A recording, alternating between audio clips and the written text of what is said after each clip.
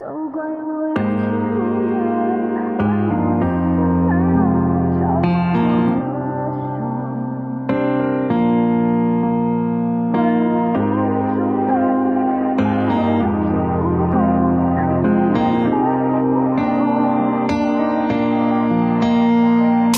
夜都已经深了，却没有一点困意。猜你忙一定是真的，那就祝你一切顺利。真人已经对你产生依赖，也后悔不该有太多的期待。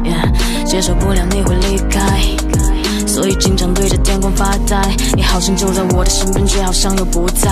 等你的爱就像等铁树花开。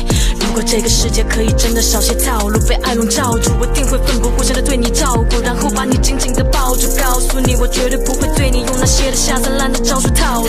可是世上哪有那么多的如果？你走后那天，我的世界都快崩塌，大部分的感情都是在飞蛾扑火，又指望谁能点亮你的那座无人灯塔？